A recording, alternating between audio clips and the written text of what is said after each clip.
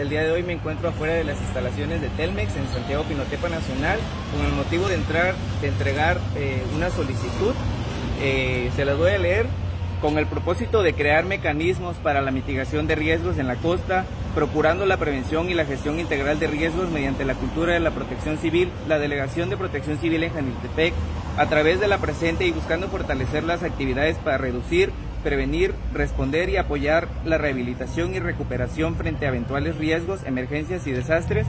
y con el objetivo de continuar construyendo acuerdos y compromisos, solicito la atención y o mantenimiento de sus instalaciones e infraestructura en general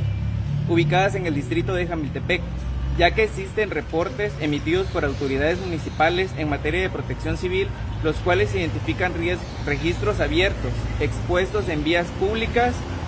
de tránsito vehicular y peatonal,